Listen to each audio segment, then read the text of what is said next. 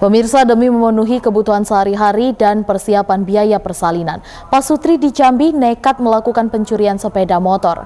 Pelaku pun kini ditangkap tim Macan Polsek Jambi Selatan.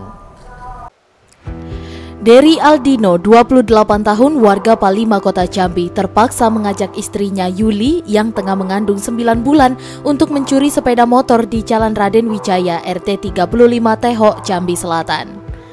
Aksi pelaku tersebut dilakukan karena terhimpit kebutuhan ekonomi, terlebih sang istri yang akan melakukan persalinan.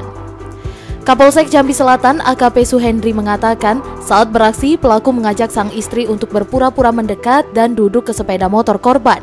Setelah memantau situasi, pelaku kemudian mengarahkan sang istri untuk mengemudikan sepeda motor korban. Ia berperan untuk mendorong motor korban dengan kaki.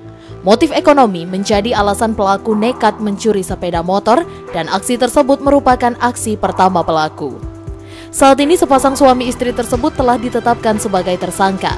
Pelaku Derry saat ini dilakukan penahanan, sementara istrinya tidak dilakukan penahanan demi kemanusiaan karena tengah hamil 9 bulan. Saat ini pelaku Derry beserta barang bukti sepeda motor telah diamankan di Mapolsek Jambi Selatan.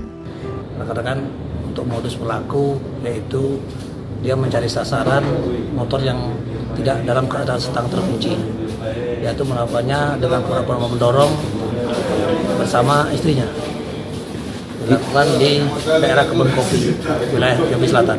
Oke. Okay. Ya, istrinya mengandung sudah 9 bulan 3 hari ya. Oke. Okay.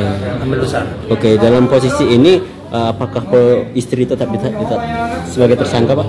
Ya, memang istrinya tetap kita lakukan penyidikan, tetapkan sebagai tersangka, namun tidak kita lakukan penahanan, mengingat beliau dari masih dalam keadaan hamil. Oh.